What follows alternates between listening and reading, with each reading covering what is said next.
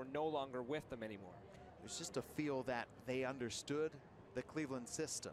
The one-two. hammer to left field by Chavez. Back it goes. At the wall. It is gone. Back-to-back home runs for Samad Taylor and Chavez Young. Young goes yard for the eighth time. Lansing trails four to three in the third.